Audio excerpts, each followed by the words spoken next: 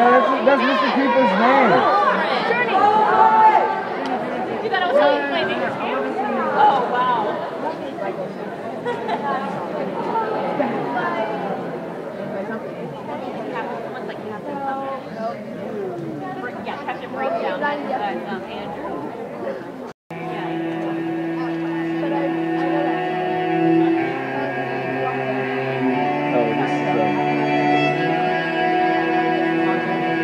Oh, this is,